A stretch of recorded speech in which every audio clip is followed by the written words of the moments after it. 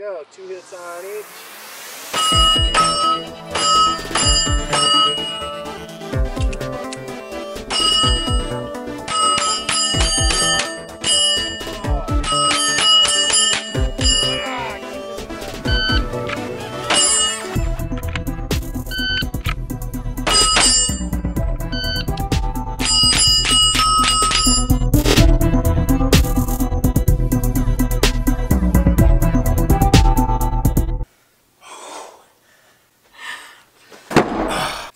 Today, guys. What's going on there, everybody? Kai here with the Path of Life. I just acquired something super cool. This is from SI Targets, aka Superior Ideas, and I can't wait to open this for you guys. It weighs a stinking ton. Ah. Oh yeah. Golly. Oh yeah.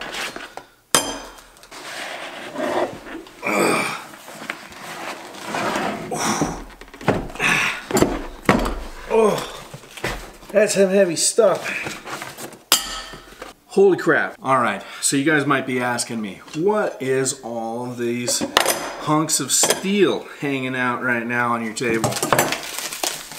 Well, allow me to enlighten. SI Targets is a manufacturer of AR-500 steel targets. Um, they've been around for quite a while now, and uh, they have had a main focus of steel targets and steel target accessories. So these are 10 inch AR500 3 8 inch thick steel gongs. You might be asking, what are these pieces for? Well, super, super cool. They have made a steel gong set for a plate rack that all you need aside from these pieces of steel themselves is a few pieces of EMT conduit and a 2x4 and these brackets as well as these pieces and then the EMT conduit slides onto these support pieces here supporting the entire 2x4 uh, about four feet off the ground. And this notch here slots into this hook and the, the steel plate hangs free hanging off of the 2x4 and then you have a plate rack. It's extremely portable aside from the fact that these plates weigh a ton. So this is an extremely cool little modular kit here I can set these plates up on individual racks kind of out and about spread throughout the range area. I can set it up as a six plate rack unit with 10 inch gongs on it. Um, I can place that at any distance and give myself varying degrees of difficulty. For the purposes of this video, I want to give you guys my impressions on this kit the way that it's designed, which is to have the 2x4 set up with all six targets spread along it like your traditional competition plate rack. I'll be shooting these plates with the Canik TP9 SFX and for the Murica rifle I just got a CMMG 22 long rifle conversion bolt for my AR-15 to convert the 5.56 down to a 22 long rifle so that I will be able to fire my AR at these plates. These plates are only, they're rated for handgun calibers and 22 long rifle. So I don't want to just take them out day one and shoot them with a 5.56, but I guarantee you that I will in the future. So one thing to note is that all of these pieces, the brackets and the steel plates themselves are all AR 500 steel. So if you're off on your target or anything like that and you were to hit one of these brackets, theory, shouldn't do anything to it to uh, damage any of these pieces at all. The only pieces that would be getting damaged at all would be if you were to hit the EMT conduit, I suppose that, that it could buckle. And the 2x4 itself will wear down as you shoot it. If, you, if you're missing the plates and hitting the 2x4, then eventually it'll splinter up. Let's get over to the store and purchase the items that we need to make this a complete kit so that we can take this out to the desert, set it all up, and test it all out.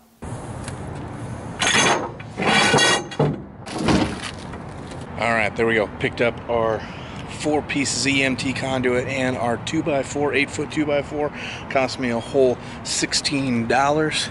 So in addition to the price of the uh, of the kit itself from SI Targets is 14 bucks. Not too shabby.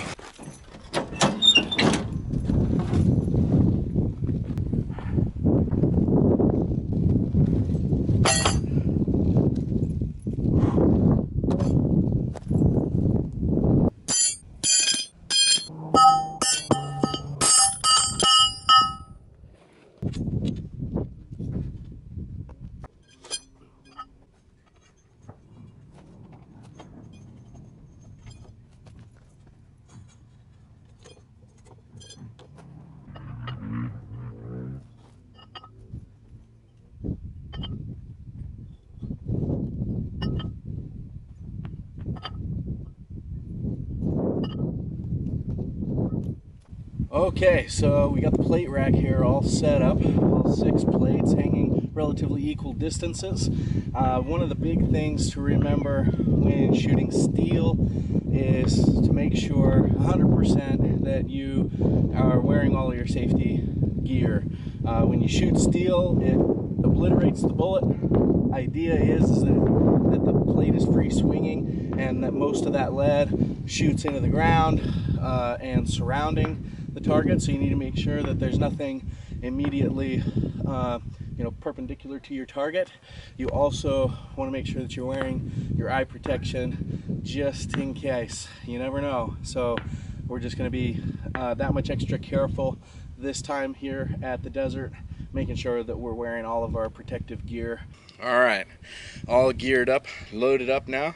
Like I said, along with the TP9 SFX, I will also be shooting this with the AR-15 with the CMMG conversion kit installed. Now, I just want to make sure that this conversion kit works. This will be the first time that I've fired this conversion kit. It's brand new, just installed it in the gun.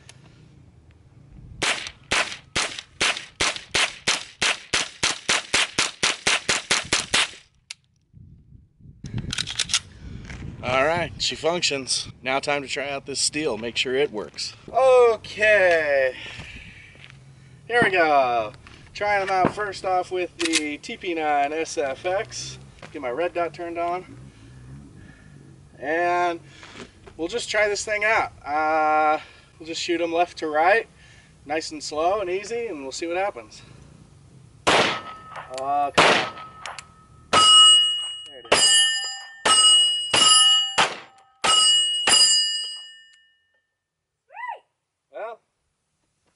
They work.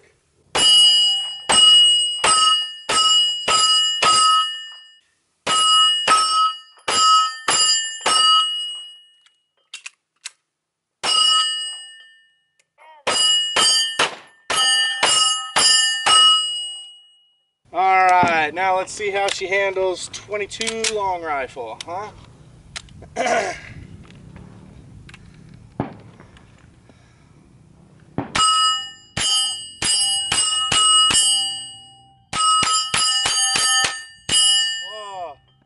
close on that last one. Okay, left to right as fast as we can. Ah, I keep missing that last one. Whew. All right, let me take you guys up here. Look at the damage after the first couple rounds here. So, absolutely no pitting, you know, just uh, just the marks. No pitting at all. They're holding up great. They sound awesome. Jenn's turn to try them out now. Yeah, still up in the upper third. There you go. Upper thirds. Yeah. Yeah, it's so much better than target shooting because I can tell if I'm hitting it. Yeah, immediately. Like I'm gonna get so much better because, I mean that's a kill shot. Yep. Guys, sorry, I just realized that I totally fumbled on uh, practicing what I preached. I didn't put my eye protection on for any of those shots. So, I'm gonna do better. I am human, I make mistakes, and sometimes I'm just a plain idiot.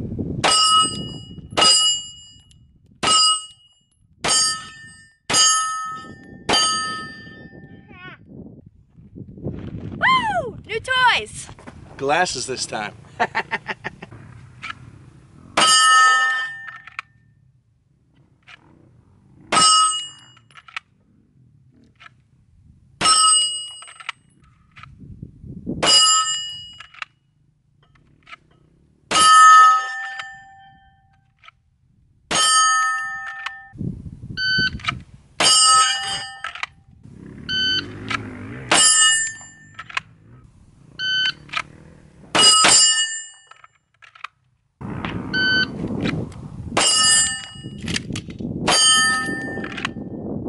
Okay, 22 long rifle CMMG conversion kit.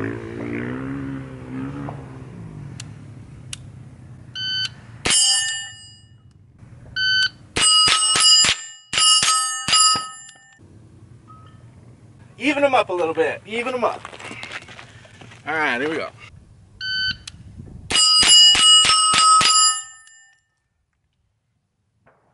That's a 238. Come on, come on, come on. One miss. One miss, and it was a 129 though. 129. Out. Clear. Whew! This plate rack is awesome. One of the hardest things that I have as a competition shooter uh, is practicing plate racks and steel targets and small steel targets especially. So one of the things we're going to do now is we're going to back up a little bit, uh, basically simulate that these targets are smaller and uh, a little bit of a further range. So we should have to focus a little bit more and really, really focus on our breathing and our trigger pull, smooth trigger pull straight to the rear so that we can hit these things. Uh, but we're going to back up to about, uh, I don't know, 30, 35 yards or so and uh, go for it again. You want to try and shoot from here? Kind of. Yeah, go for it. Kind of discouraged. It's a long way.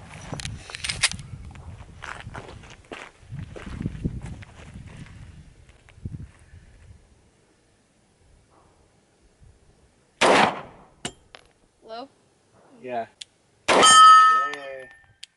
This is when they all blur together for me. Okay, so we were at about 10 yards with these 10 inch plates. So now we're at 35 yards. And so this should either simulate them being smaller plates at a closer distance or just shooting uh, a longer distance 10 inch target. So hopefully we get some uh, we get some good hits and we'll see how what we can do. This is just basically to push the push our limits uh, this has really nothing to do with the targets themselves. Come on. Nailed it. Nailed it. That's hard to hit. From this distance, they are very small targets.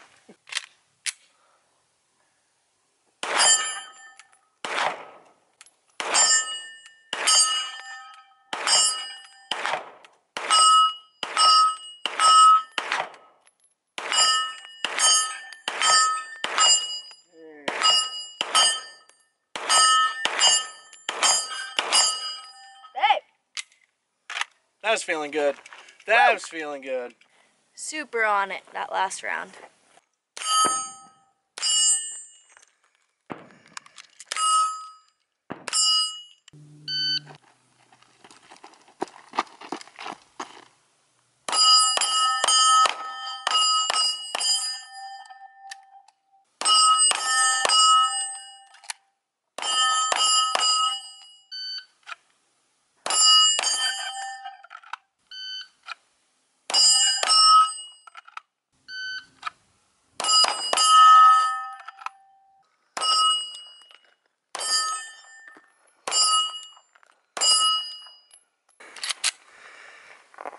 Rocking the Canik.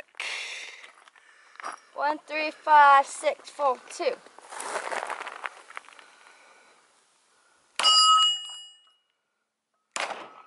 Whoa.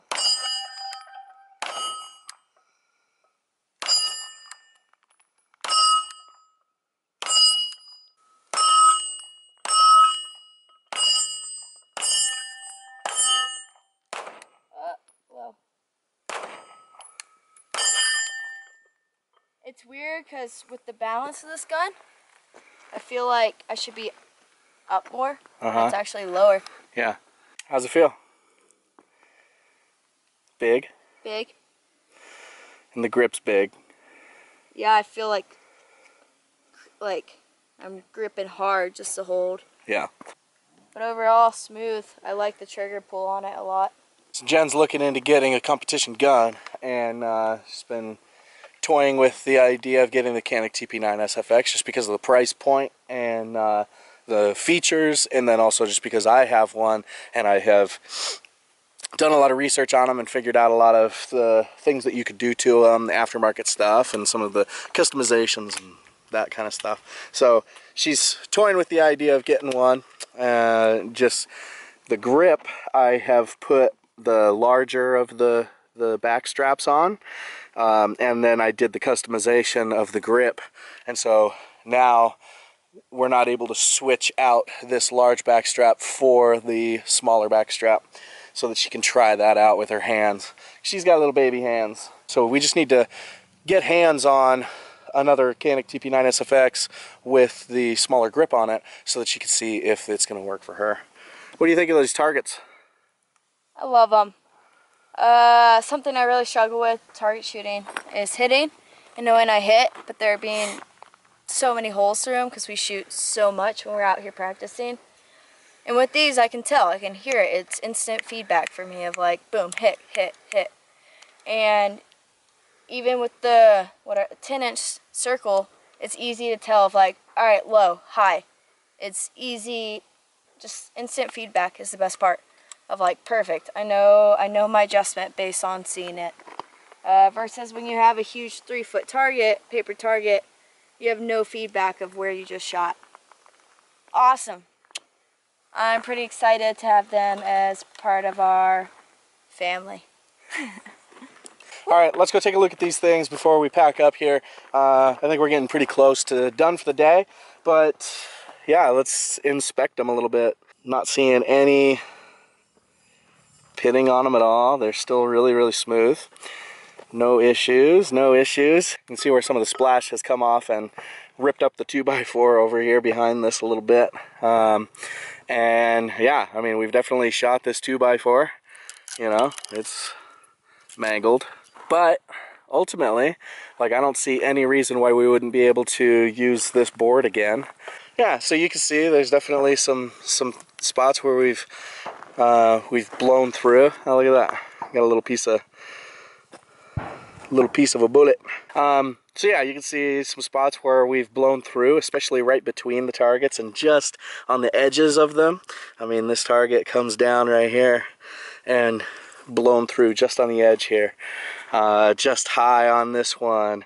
Um, so yeah, but I don't see any reason why we wouldn't be able to use this 2x4 again. Ultimately, the stand's holding up really well. I like these brackets. Super easy to set up. Uh, I mean, I was just by myself setting all of these up before Jenn got here, and setting them up was quite simple. Um, I was actually surprised at how easy it was. I thought it was going to be a little bit more difficult to do some of the setup just by myself, but ended up doing really, really well. Yeah, didn't shift at all while we were shooting it, didn't move around.